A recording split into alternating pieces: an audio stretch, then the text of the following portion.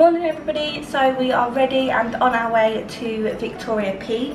So this is like a viewing area where you can either walk up, which we probably won't do because I've made an effort and I don't want to be sweaty, or you can get the tram up which is meant to be really really cool. So we're going to hopefully get that tram all the way to the top and then I think you get a 360 view of Hong Kong.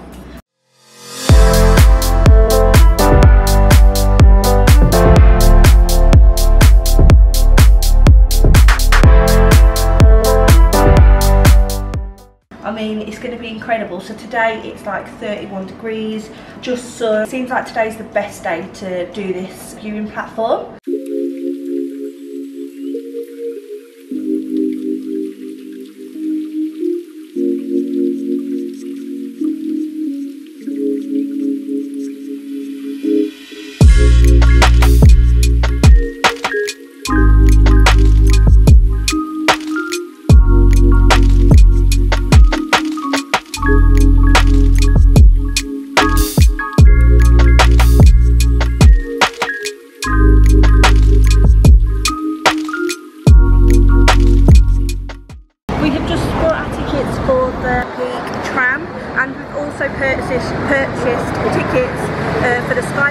so they were 99 Hong Kong dollars each. We'll put that price now. So not bad to see both. You get to see the, if you go up to the... Just to the ride in 360. Terrace. Yeah, so we're excited. Let's go.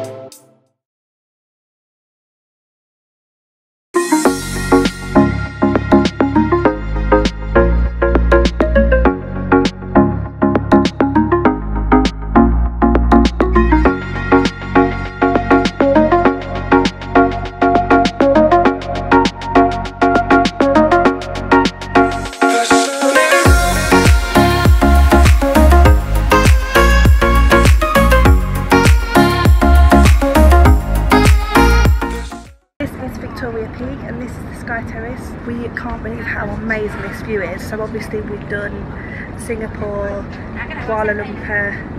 Has there been another one? Ho Chi Minh. Ho Chi Minh, but this is by far the best view. The best view. I mean, it's full 360, isn't it? The best view and the best things to look at. That's amazing. so amazing. So we're super happy that we've had the chance to do it. And it's not been that busy. Got no, straight so, on the tram. Yeah, so you pay like an extra 50 Hong Kong dollars, which is like £5.50, something like that, to come up to this top bit and we highly recommend it. I think you should just pay it, it's so worth the money, like a million percent. Considering in Singapore we paid like £20 each yeah, we got two drinks, like a beer and a coke, but I'd rather pay this income here. So. And we watched the sunset. So now they're all good for different reasons, I think. But I think if you if you're going to all them places, it we, I can't because of the sun. Sorry.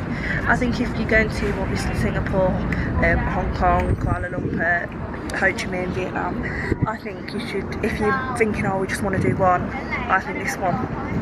You say that to every single time. I think yeah, I know but so far I personally think this has been the best one. We was going to come at sunset but apparently it gets really really busy at sunset so we chose not to. Yeah, it's amazing. We are a few hours on, we've had some food because we're starving and we have now come to watch a Symphony of Lights. So we are currently near the Star Ferry where you actually catch that and also just on the other side is the Avenue of Stars.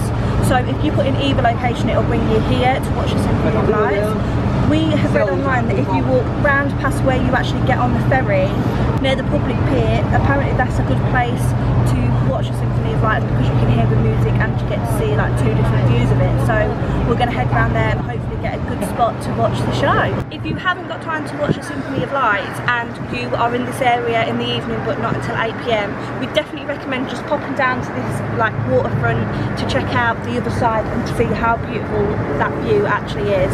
It should be definitely one of your things on your list to come here and see it in the evening. Let's go!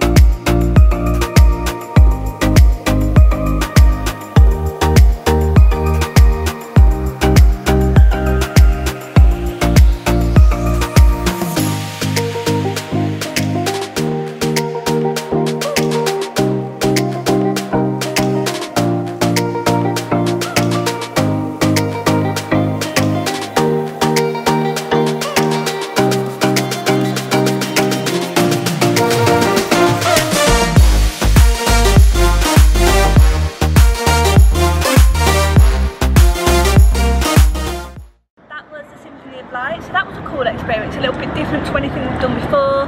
It was really lovely to see it and it was about what we can gather on, on what it said on the buildings. It's about Hong Kong standing together as one. So such a lovely little message there as well. We're going to end the vlog here because we're just going to head back to the apartment now. So if you've enjoyed today's video, don't forget to hit that subscribe button and give this video a big thumbs up and turn on the bell for all of our notifications.